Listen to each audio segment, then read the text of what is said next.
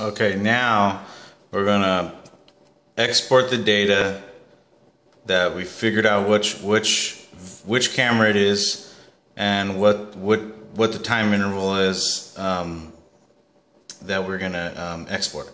So we're gonna right click off the screen, it goes backwards, uh, right click again, and we're going to click in the sub menu, the main menu, the main menu here, we're gonna click the main menu and go to export. On the main menu this export. Click export and you can see here at the top all the different cameras you can choose from. We only want camera 5 we'll click everything off except camera 5 camera 5 now we want to choose the start time of the video and the end time of the video that we want to retrieve. So today is the 26th and we're gonna start the 26th for today and it ends today, um, we, we didn't have an incident that, that carried over to the next day. It wasn't, um, it wasn't, it wasn't 11.59 p.m.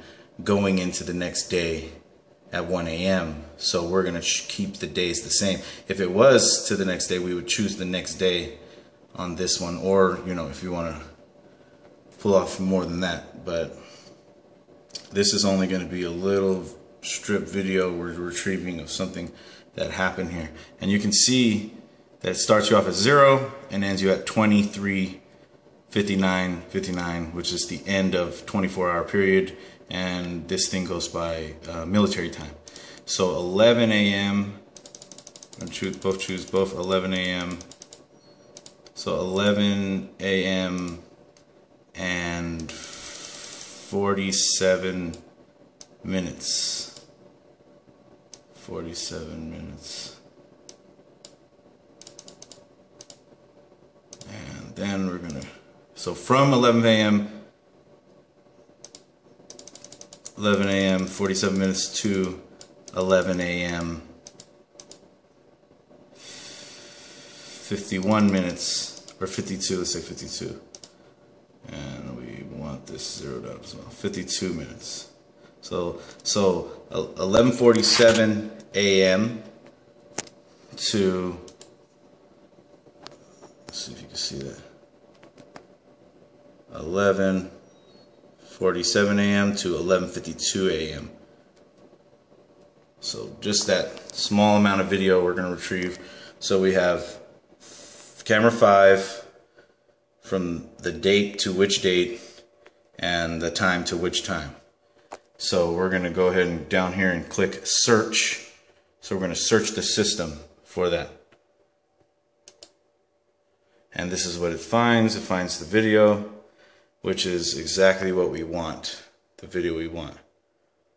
Click, you can click this, just that. You can click all if you have, if you have all. Now you can play the video just to, just to make sure this is what you want here. If you, you see me come in, see me leave. So yeah, this is this is the right video. This is what we wanted from that from that time to this time. And now we just do export. You can do export all or export. It's going to be the same thing if I clicked all or or just that. It's because um, usually you know if you if you pull off a lot of different cameras, you know, multiple cameras, um, maybe four cameras caught the same incidents from different angles, then you retrieve all at once. Um, we're only retrieving one, one camera here. We're gonna click export and it gives us, you know, these options here. Can you see that? Okay, so if you take a look here, you can, you, you, you, what's supposed to show up actually here is in, in this in this spot here in the middle, it's supposed to be a device, a device which is um, uh, a USB stick or or or um, some other secondary storage like a, a, hard drive or some something like that. And um, this is what you're going to export the data to, is a drive.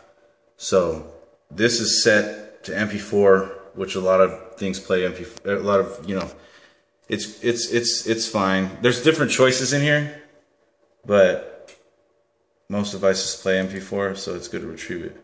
If you want the most excellent data, the most excellent videos, probably AVI, and um, as well as you know the most excellent audio. But you know if you don't have audio and you just want the video, then you could retrieve it. MP4 works great.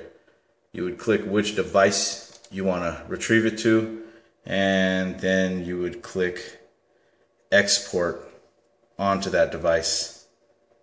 So there you have it. That's how we that's how we retrieve the data.